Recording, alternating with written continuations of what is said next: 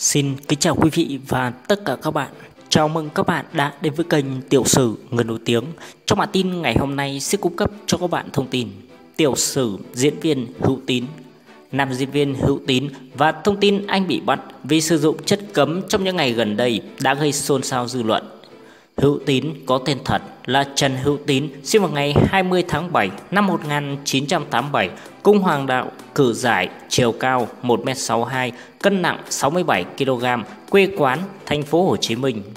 Những bộ phim đã tham gia Thập Tam Muội, Giang Hồ Chợ Mới, Vi Cá Tiền Truyện.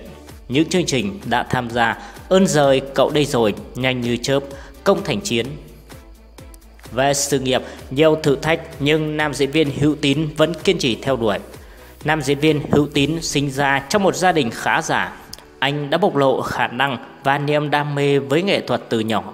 Dù vậy, bố của anh đã không hài lòng với việc anh chọn từ bỏ đi du học để học khoa diễn viên tại Đại học Sân khấu Điện ảnh Thành phố Hồ Chí Minh. Diễn viên hài này đã phải tự lập từ rất sớm dù nhà khá giả và có điều kiện. Song song với việc đi diễn, anh có tự kinh doanh một shop quần áo thiết kế. Năm 2009, nam diễn viên đã được nghệ sĩ nhân dân Hồng Vân nhận vào diễn kịch tại sân khấu kịch Hồng Vân với một vai phụ nhỏ. Trước khi tỏa sáng thực thụ trong các chương trình, Hữu Tín chỉ được đóng vai quần chúng với lương tháng eo hẹp.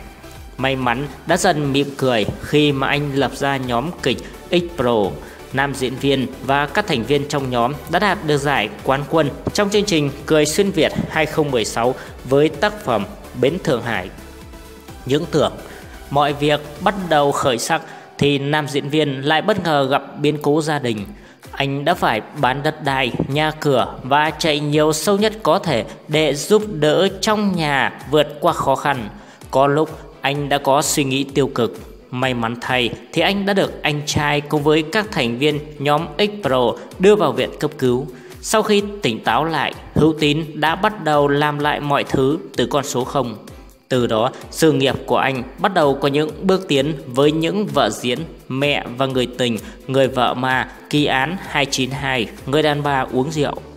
Anh cũng trở nên quen mắt với khán giả qua những chương trình với lượng người xem khủng như Cười xuyên Việt, Nhanh như chớp, ơn rời cậu đây rồi.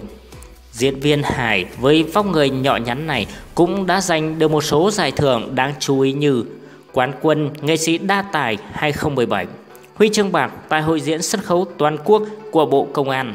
Nam diễn viên cũng xuất hiện trong một số bộ phim được khán giả yêu thích như web drama Ai chết giơ tay, phim chiếu dạp Nhà không bán.